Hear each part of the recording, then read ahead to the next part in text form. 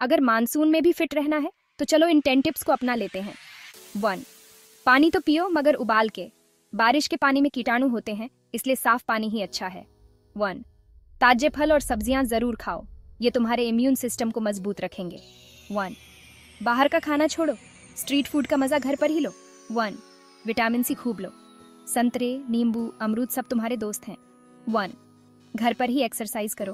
बाहर की में फिसलने से तो घर का योग और स्ट्रेचिंग ही बेहतर है। वन भीगे कपड़े फटाफट बदलो।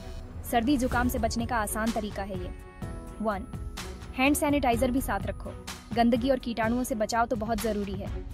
वन मच्छरों को दूर भगाओ। मलेरिया, डेंगू से बचना है तो मच्छरदानी और रिपेलेंट का इस्तेमाल करो। वन हर्बल चाय की चुस्की लो। तुलसी, अदरक, शहद वाली चाय सेहत के लिए बहुत अच्छी होती है। वन खुश रहो और पॉजिटिव सोचो।